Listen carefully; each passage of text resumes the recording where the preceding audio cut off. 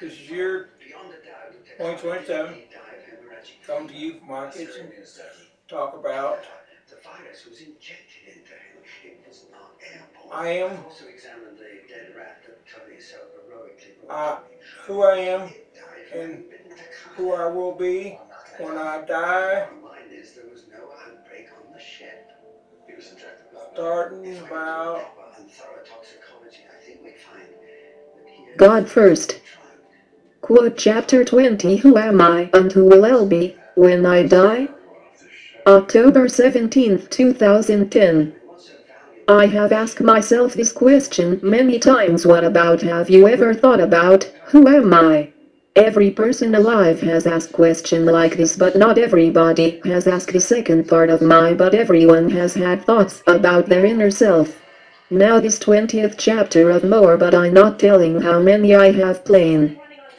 The Who is the person written to you? Yes, I am the person written. This book Roy William Perry 3 no as year 2027. I not a well need to mankind but I just a person that written this book because I want to share myself personal with each person. I want you to see my heart of love. But who is me? I see myself as my hometown, then I see myself as city I was raised in, and then I saw myself as a Kentucky, the state was raised in.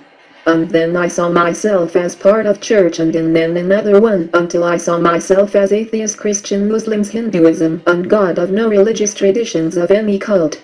Then I saw myself as an America of the United States of America. Then I saw myself as part of world. And then I saw myself as fleshly being, and then I saw myself as an atom, then even smaller, while seeing as the whole galaxy and beyond.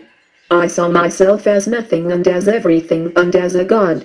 Otherwise I was more than I can while I was less than I could be while I was me. Chapter 21